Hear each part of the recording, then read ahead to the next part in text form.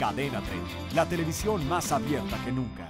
También uno de los que no puede mantener una relación seria, pero es debido a que está chamaquito y está bien relajiento, es Justin Bieber, que desató la locura entre las Believers tras publicar una imagen en la que se retrata junto a una de ellas, pero en la cama.